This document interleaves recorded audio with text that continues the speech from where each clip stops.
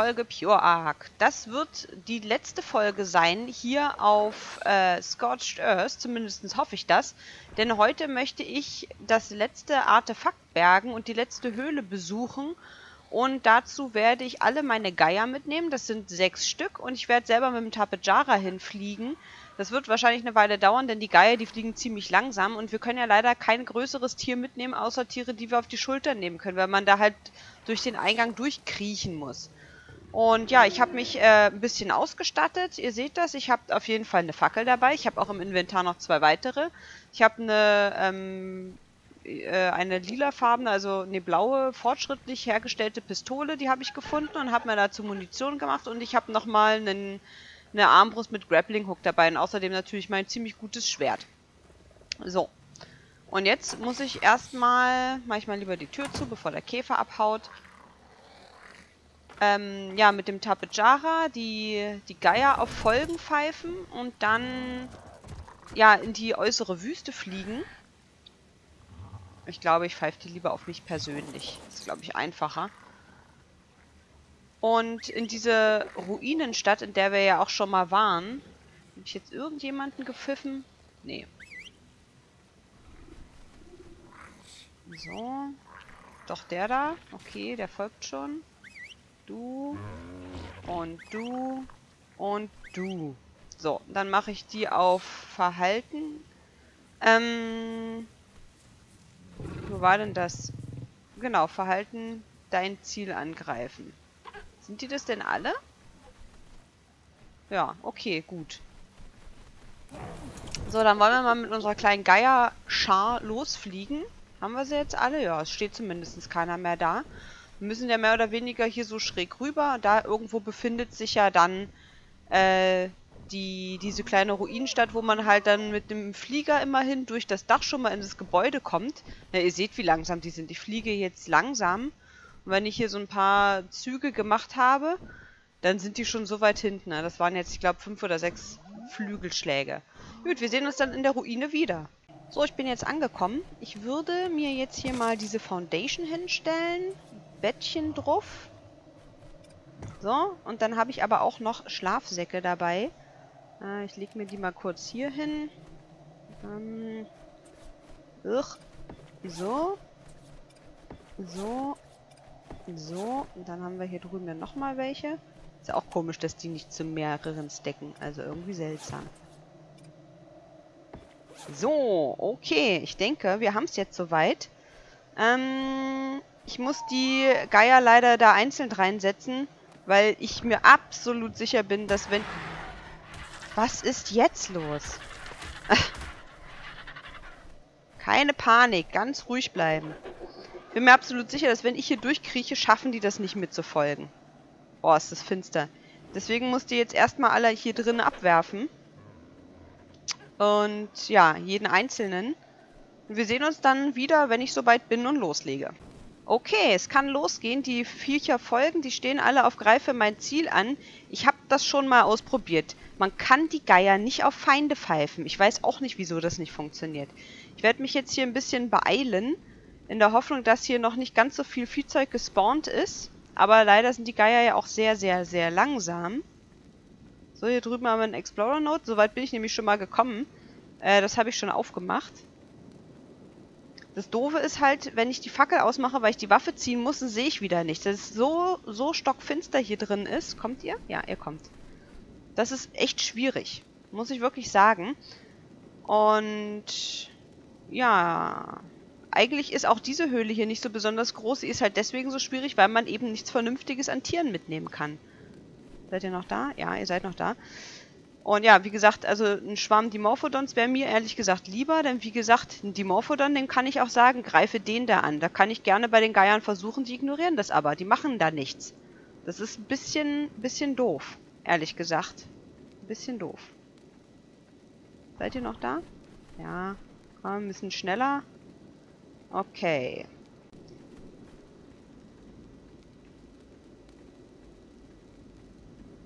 Hm. So, wir gehen hier drüben durch. Ich weiß gar nicht, wo der andere Gang hinführt. Ich glaube, das ist nur ein anderer Weg dorthin, wo wir hier hin wollen. Also, ich glaube, man kann den anderen auch gehen. Da kommt man dann hier an so einem Seitengang gleich wieder raus. Seid ihr da? Ja, ihr seid da. Ist komisch, ne? Wenn man sich von denen wegdreht, dann hört man die Tiere auch nicht mehr hinter sich herlaufen. Wenn ich mich umdrehe, dann höre ich sie wieder flattern. Strange. Ah, ich höre was. Äh, aber was? Da! Okay, gut. Ja, solange die Viecher meine Geier angreifen, super. Das Blöde ist halt, die fliegen ja immer... Ja, wenn ich stehen bleibe, dann überholen die mich leider immer. Und ist mir eigentlich nicht so recht. Weil die sollen ja angegriffen werden. Wie gesagt, wenn ich jetzt die Waffe ziehe weil ich ähm, auf was schießen will, dann sehe ich eben wieder nichts. Abgesehen von diesen da hinten ist schon wieder was. Ich sehe sie. Oh, ich glaube, das hier ist auch... Ah, nein! Ja, tötet sie. Sehr gut. Es gibt hier auch diese komischen Golems. Dieser eine Stein sah gerade, dieser da, der sah so ein bisschen danach aus. So, ich hoffe, wenn ich jetzt hier springen muss, äh, behindern mich meine Tiere nicht. Das wäre echt extrem kontraproduktiv. Hüpf. Okay. Hüpf. Was ist denn das hier? Das sieht ja komisch aus. So, und jetzt würde ich denen halt gerne sagen, die sollen die angreifen. Kann ich aber nicht. Ich kann ihnen das nicht sagen. Oh nein! So ein Golem.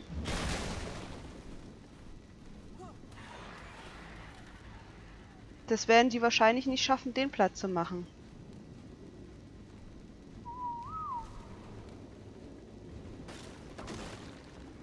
Uh, ich höre ihn schon mit Steinchen werfen.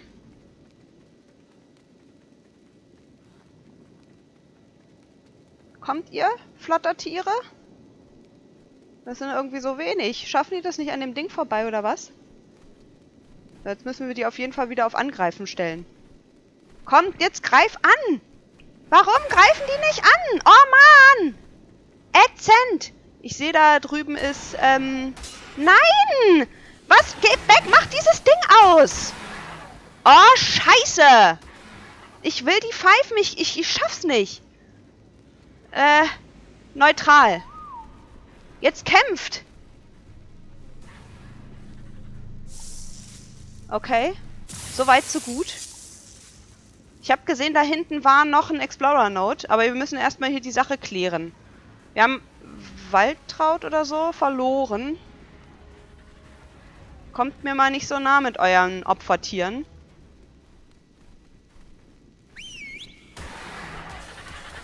Okay. Puh. Wir müssen aber an dem blöden Golem wieder vorbei. Oh, oh, oh. Wo war denn das? Ich habe gerade... Ich habe gerade einen Explorer-Node hier aus dem Augenwinkel gesehen. Irgendwo hier an der Seite. Irgendwo hier. Hier. Okay, süß. Mit Fußtapsen. Sehr schön. Ah, boah, die Geier sehen schon ganz schön angegriffen aus. Jetzt müssen wir hier nur wieder zurück. Ich glaube, diese Golems, die heißen auch anders. Die heißen irgendwie Rubble Golem oder Gubble Golem oder sonst irgendwas. Die sieht man, glaube ich, tatsächlich gar nicht als Steine rumliegen, so wie die großen Rock Golems, sondern die, ähm, die kommen aus dem Boden raus. Irgendwie. Jetzt muss ich aufpassen, wo hier diese Springpassage wieder ist. Nicht, dass ich hier ins Loch falle. Wie gesagt, ich habe zwar zwei... Ich muss dringend mal meine Waffen laden. Zwei Grappling Hooks dabei. Aber wenn ich sie nicht brauche, weißt du, muss ich sie ja nicht verwenden. Fackel an. Komm, hüpf da mal rüber. Hepp. Ah, puh. Es ist auch so ein Nervenkitzel immer mit dem Springen. Für mich zumindest. Ich finde das ganz, ganz grauenvoll. Jawoll. Nix wie raus. Wo sind meine Tiere? Okay. Gut, gut, gut, gut, gut. Ich befürchte, dass der Rückweg vielleicht nicht ganz so leicht wird, weil wir sind relativ schnell reingegangen. Der hat, ist hier, glaube ich, noch gar nicht so viel gespawnt. Oh nein! Ein Schlangen hier. Ich glaube, es bringt aber nicht viel. Ja. Greif die Geier an. Oh nein, da oben ist noch was. Ich habe es schon gesehen.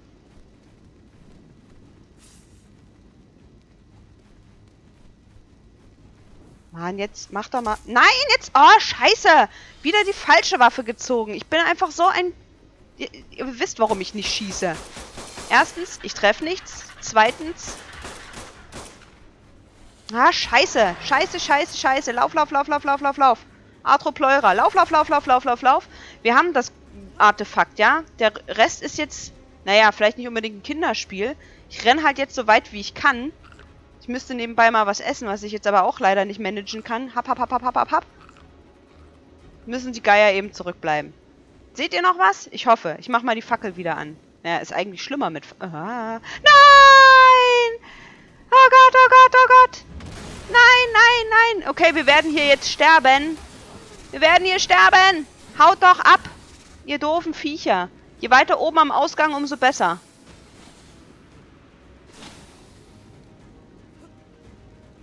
Oh ja, wir sind fast draußen. Nicht genügend Ausdauer. Oh Gott, wieso nicht? Spinnst du? Du kannst ja jetzt nicht stehen bleiben. Rennen, rennen, rennen, rennen, rennen. Oh Gott, die hat die Ruhe weg, die Dame hier. Hä? Wir haben es gleich. Wir haben es gleich. Einmal kacken. Da! Ich glaube, hier kommt nichts anderes durch. Lauf doch! Ja! Tut mir leid um die armen Geier. Ja! Im schlimmsten Fall kommt hier eine Schlange durch. Wir haben es geschafft, Leute. Wir haben es echt geschafft. Ja, mit Ach und Krach zurück. Klar, hätte man jetzt auch alles langsam machen. Kampf für Kampf und so. Aber Hauptsache, ich bin hier weg. Hauptsache, ich bin hier raus. Die armen Geier, es tut mir leid. ich habe ja nur eine... Oh, Rückel nur eine Todesmeldung bekommen. Aber ich nehme mal an, dass wenn ich jetzt wieder zurückgehen würde, dann würde es von Todesmeldungen nur so hageln. Weil die kämpfen ja, glaube ich, jetzt gerade mit dem Golem und das werden die einfach nicht schaffen. Juhu! Okay, wir können noch mal ganz kurz gucken. Hm, hier haben wir einmal das Artefakt des Zerstörers und einen Skin für ein Schwert, wenn ich mich nicht irre. Jetzt habe ich aber schon einen... Naja, ist egal. Gucken wir uns nachher an. Den gucken wir uns nachher an. Erstmal nach Hause fliegen. Da komme ich wieder zu Hause an. Es ist, äh, sobald ich zu Hause bin, das Interessante ist es auf einmal nicht mehr so heiß. Ich wollte gerade sagen, es ist tierisch heiß, aber nein, weil der, das Leben, was ich da verloren habe, das ist nur teilweise durch die Höhle passiert. Ah, der folgt mir auch. Nee, das ist nur der Folgeabstand. Gut, wunderbar. Dann wollen wir jetzt natürlich uns nochmal angucken, was wir bekommen haben. Und zwar haben wir nochmal einen Skin für ein Schwert bekommen. Dann werde ich mal das hier rausziehen. Da ist momentan dieser Aberration Skin drauf. Dann legen wir mal das hier drauf. Und gucken uns die ganze Sache mal an. Die 4. So sieht dieses Schwert hier aus. K. Ja, ziemlich cool. Das haben wir ja bekommen. Dann haben wir ja nochmal den Skin für die Fackel aus irgendeinem anderen Loot. Und dann muss ich jetzt erstmal gucken, wo habe ich habe ich das Schwert überhaupt noch dabei? Äh, so. Ne, den, den Speer meine ich. Dann haben wir ja nochmal... Ähm, wo ist er, wo ist er, wo ist er? Hier, genau. Dann haben wir nochmal diesen Speerskin irgendwann mal bekommen. So, das sind... Nein, nein, alles falsch. Ich drücke nur die falschen Tasten. So, das sind eben die drei Sachen, die ihr bekommen könnt. Und ja, also das, das Schwert, das ist natürlich dieses Manticore-Schwert. Wenn man am Ende den Manticore besiegt, dann ähm, bekommt man da ja, ich glaube, ein Helm oder ein Bruststück. Ich weiß es jetzt ehrlich gesagt gar nicht so genau. Irgendwas bekommt man da. Ich will aber trotzdem lieber erstmal diesen Aberration Skin drauf behalten.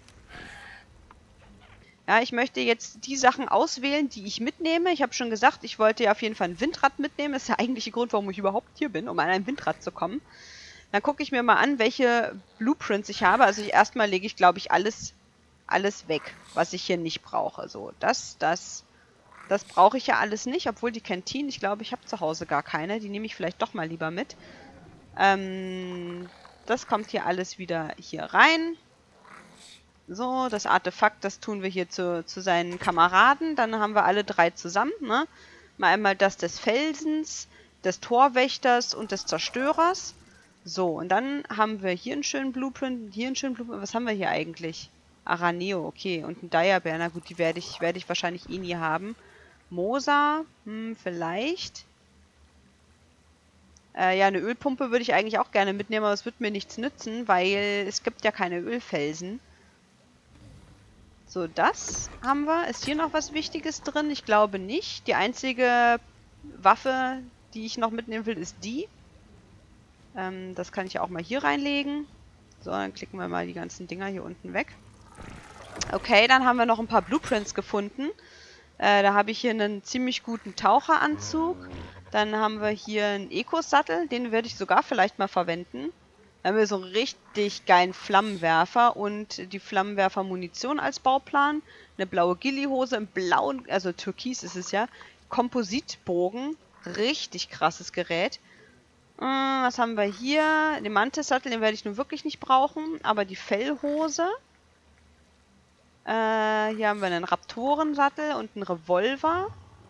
In sehr guter Qualität. Und einen Thylacoleo-Sattel. Uh, auch nicht schlecht. Ich nehme auch nochmal die Blaupause fürs Windrad mit.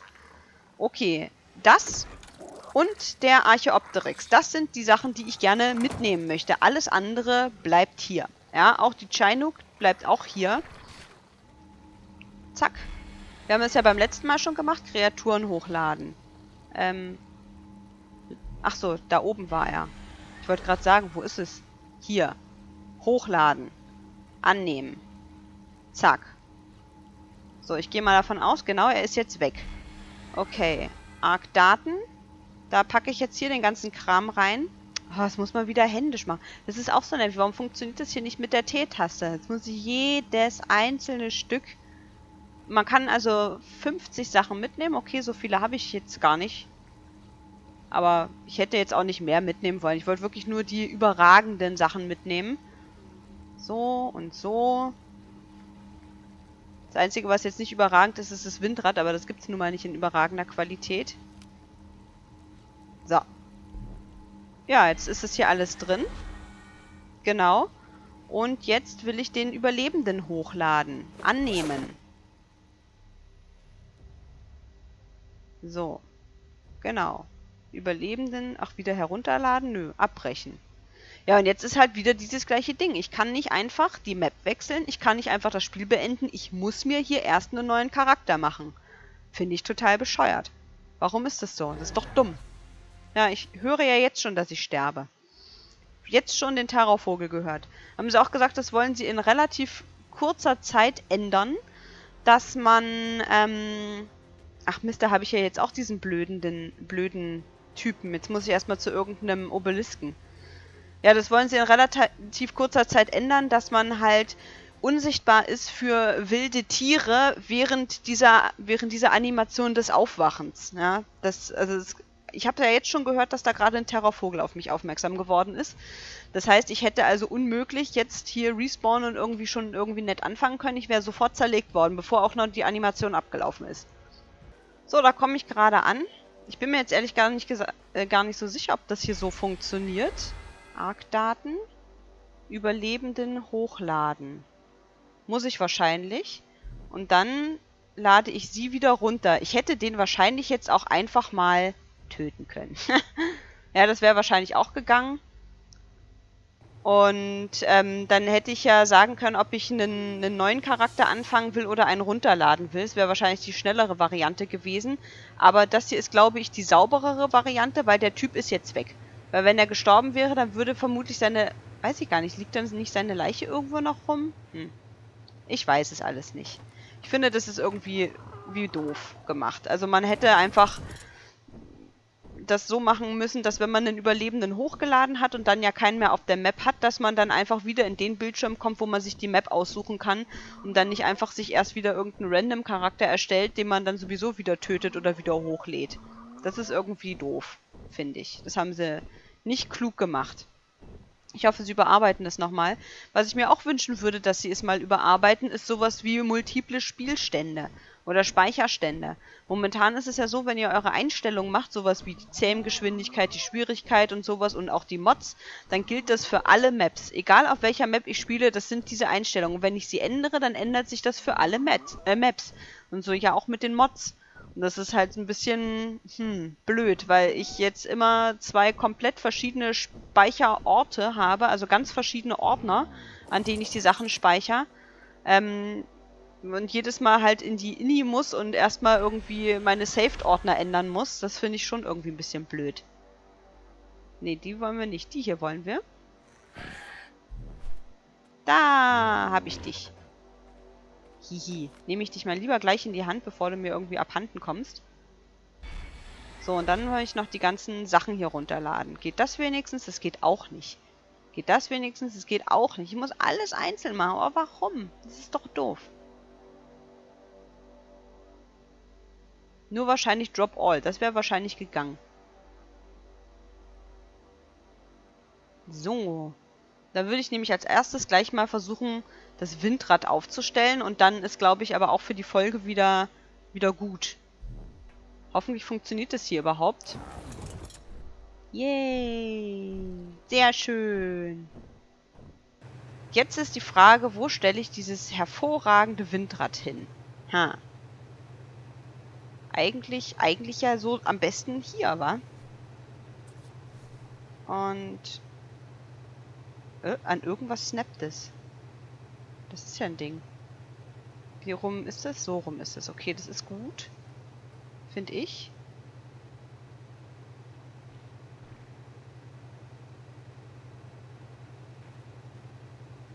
Nein. So. So ein Stück hoch. Hm, Moment mal. Bevor ich das jetzt mache. Eigentlich muss es an irgendein Kabel snappen. Sonst muss ich ja die gesamte Verkabelung neu machen. Ha, das sollte ich vorher mal bedenken. Ich kann ja mal gucken, wo das hier überall snappt. Ja, gar nicht so schlecht. Wenn ich das hier hinstelle, steht zwar ein bisschen im Weg, aber... Äh, was? Wieso ist es jetzt kaputt gegangen? Muss man das verstehen? Das ist doch unfair. Hab ich's noch? Ja, ich hab's noch. Verstehe ich nicht. Kapiere ich schon wieder alles nicht? Ist mir alles wieder zu hoch hier? Hm. Aber warum? Hier geht's. Arbeitet es auch? Ich mach mal kurz den Generator aus und dann sehen wir ja, ob hier noch was läuft.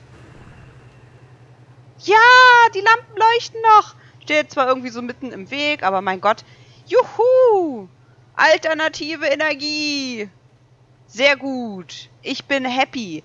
Und ich würde doch sagen, dass an dieser Stelle die Folge auch wieder zu Ende ist. Ich hoffe, es hat euch gefallen. Und ihr könnt mir gerne ein Like da lassen oder ein Abo für den Kanal. Und wir sehen uns dann beim nächsten Mal, wenn es wieder heißt Let's Play Pure Ark. Bis dann. Ciao, ciao.